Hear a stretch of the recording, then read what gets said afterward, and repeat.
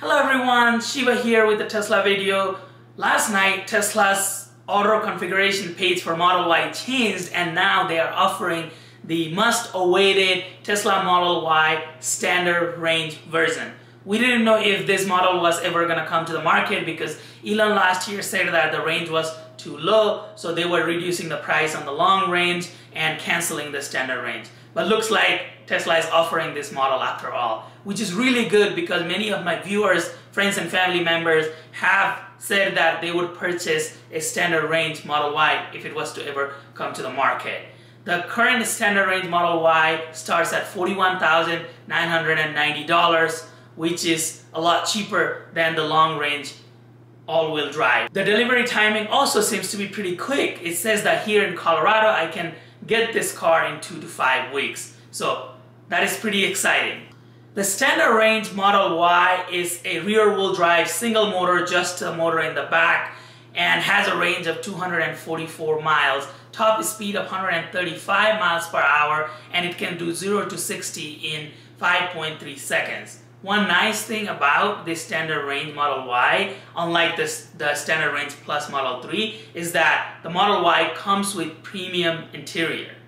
And those of you that don't know the difference, uh, the premium interior comes with premium packaging such as premium audio. And many people wish that the standard range plus had that feature. People are having to upgrade on their own uh, third-party companies installing those subwoofers and premium audio. So it is really nice that Tesla decided to keep the premium uh, interior for the Model Y standard range. Even though the standard range plus Model 3 starts at 37,990 and has a range of 263 miles you still get a lot more room with the standard range Model Y. And as I said, premium interior, which is a pretty good bonus. The single motor Teslas like the single motor long range Tesla, the rear wheel drive Tesla seem to be more efficient uh, compared to the all wheel drive models. And if you don't live in a crazy winter condition all the time, the rear wheel drive with the all season wheels will do just fine. I hope that Tesla also releases the long-range rear-wheel drive version of the Model 3 in the future. Uh, this was a thing back in the days for Model 3 where Tesla used to offer that long-range rear-wheel drive variation and they stopped doing that but I hope that they do that for Model Y because many people would like to have that extra range but they don't mind having it a single motor. So hope Tesla brings that in the future. I think Tesla decided to bring this standard range in the market to better compete with other electric SUVs that are coming out in the market. One example is the Ford Mustang Mach-E. The Ford Mustang Mach-E starts at $42,895 and has a range of 230 miles. This would mean that the standard range Model Y priced at 41,990 is still going to be cheaper than the Ford's Mustang Mach-E. But keep in mind that Mach-E still qualifies for the full federal tax credit. Standard range Model Y was not the only exciting thing that happened last night in Tesla's online auto configurator. Tesla also released the much awaited 7-seater configuration for Tesla Model Y. Many people have been waiting for this model to have more seats in the car, but we didn't have that option until now and looks like Tesla opened it up for orders. With the two third row seats, you get easy entry into the third row, third row USB-C charging, sliding second row with adjustable seat back, full flat second and third rows for maximum cargo storage, and an electronic full flat release trunk. We don't know what those seats look like. Nobody has a picture of what Tesla really is planning on doing with those third row, the two extra seats. We only have speculation so far. Is it going to be forward facing, rear facing?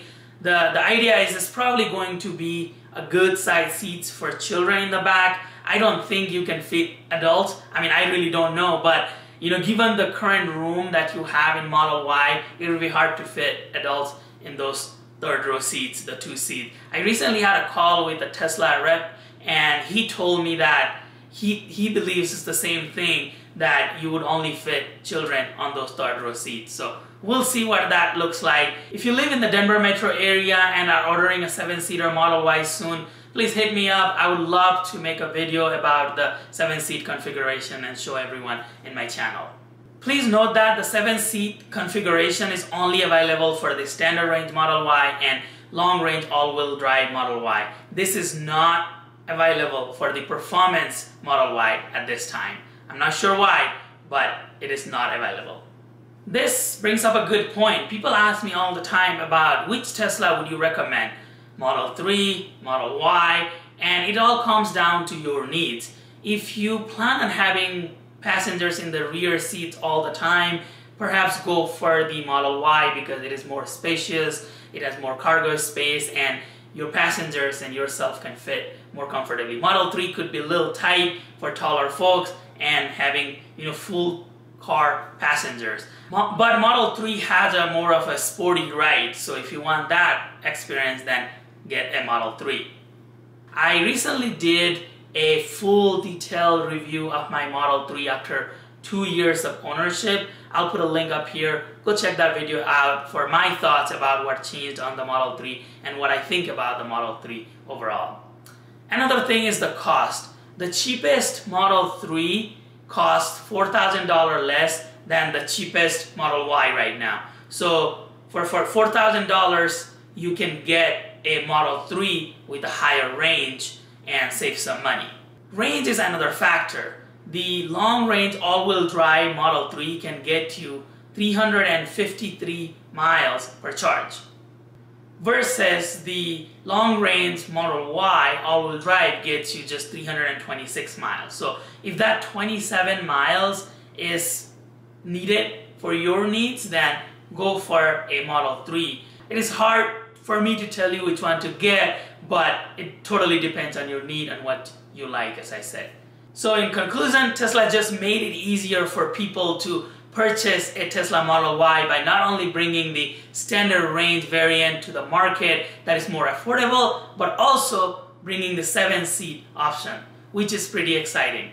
I thank you for your time today. Please be back for another video. If you enjoyed today's video, please consider subscribing to my channel, give this video a thumbs up, and let me know in the comment section what you think about this video or any other video in my channel, as well as what you think about the new standard range Model Y and 7-seater option.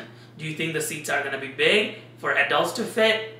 Let me know your thoughts below. And please don't forget to watch my video on the two-year review of the Tesla Model 3. I also have a giveaway going on right now on that video. Thank you very much. I'll see you in the next video. Namaste.